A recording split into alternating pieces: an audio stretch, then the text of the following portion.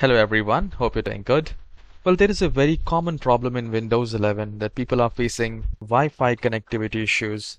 Sometimes it gets disconnected or unable to use internet. We are going to fix all kinds of Wi-Fi issues, especially on Windows 11 computer. Make sure you watch the whole video and let's get started. So the very first thing here in the search bar, type services. So you just need to type services the best match services.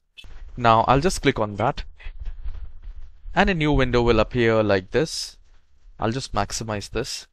So select any of the application and press W and scroll it down. And here we are looking for WLAN auto config.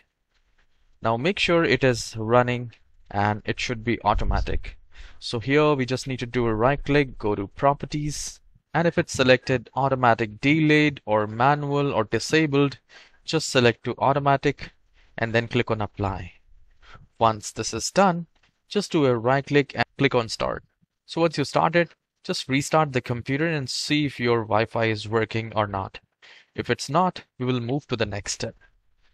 So for that we just need to go to the search bar again. And here we need to type troubleshoot so the moment you type troubleshoot, the best match will be troubleshoot settings. And we need to click on that. And here we get three options, recommended troubleshooter, recommend troubleshooter history, and other troubleshooters. So we will click here. And here we will find many options, internet connections, playing audio. So we will go to the first one. We will click on run. And once you do that, you need to select troubleshoot my connection to internet and most probably it will fix your problem and just try to restart the computer once the troubleshooting step is done. If it works well and good and if it doesn't we will move to the next step. For that I'll just close this window. We need to do a right click on the start icon and go to settings again. And here at the left hand side we will find network and internet. So we'll click on that and scroll it down. So we need to go to the bottom and look for advanced network settings. So once we are here, we will get a lot of options, your Wi-Fi, your Bluetooth, and if your computer is connected through Ethernet, you will find it here. So we just need to scroll it down and under more settings, we need to click on this network reset. Now, once you do that, it will give you information. This will remove and then reinstall all your network adapters. We just need to click on reset now and it will reset the whole network adapter. Once this is done you just need to restart the computer connect to Wi-Fi and see if it's working or not. And if it's not we will move to the next step. For that we just need to do a right click and go to device manager. So once you go to the device manager we are looking for network adapters.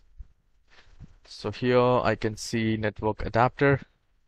You will also have this option. We just need to maximize it. And here look for the wireless.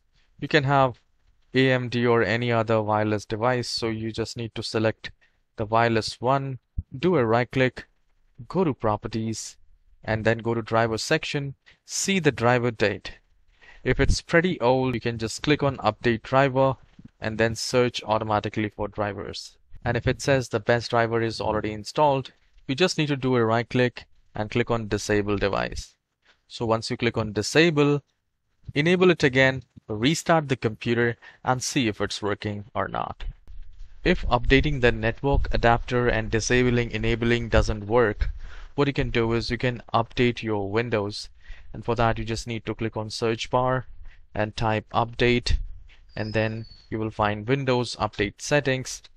And here you just need to click on check for updates.